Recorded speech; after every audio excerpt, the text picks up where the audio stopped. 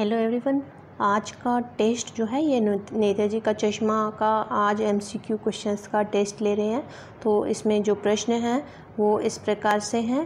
पहला प्रश्न है, स्वयं प्रकाश को किस पुरस्कार से सम्मानित किया गया था? आज मैं इन प्रश्नों के आपको आंसर नहीं बताऊँगी। आज आप आप बताएँगे इनके सभी के आंसर्स तो हालदार साहेब कंपनी के नाम से उस कस्बे से कितने दिनों के बाद आते थे या निकलते थे या गुजरते थे तो आपको इस सवाल का जवाब भी बताना है।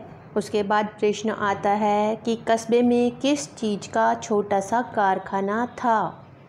यदि आपने इनके जो वन लाइनर्स क्वेश्चंस पढ़े हैं तो आप ज़रूर इनका जवाब दीजिए। कमेंट सेक्शन में सभी प्रश्नों का जवाब आप साथ साथ बताते जाइए मुझे।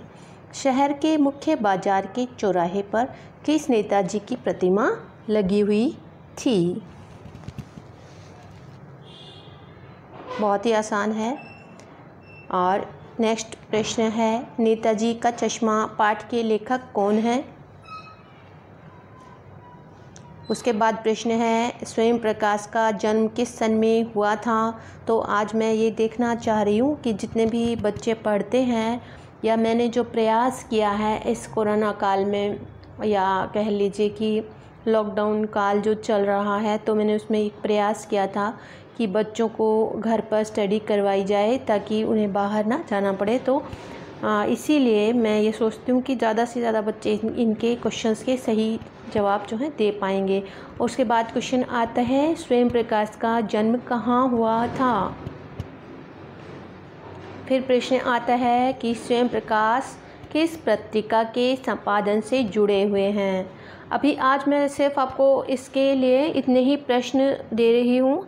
अगर नेक्स्ट वीडियो में आप जो भी पार्ट का टेस्ट बताना चाहें तो आप मुझे कमेंट सेक्शन में भी बता सकते हो।